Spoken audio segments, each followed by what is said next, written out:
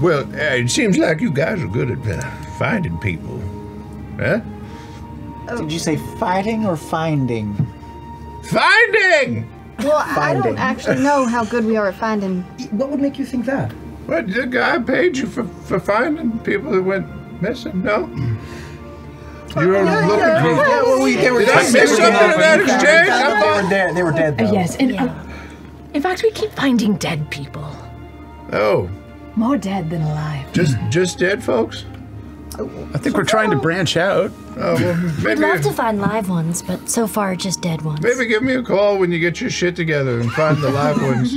I'll see you around. We should just let it go. Oh. It's all right. Do you need to be escorted back to like a house or something? It's late. Oh, you lost? No. What? I'm, I'm sorry. You sound like all up in my shit. Take a step back, in fact, blue boy. All right. Little boy. Vaguely offensive. You're all rushing up on me like you know me. You don't. Sorry. I could be a criminal. Are you? Are you? Maybe.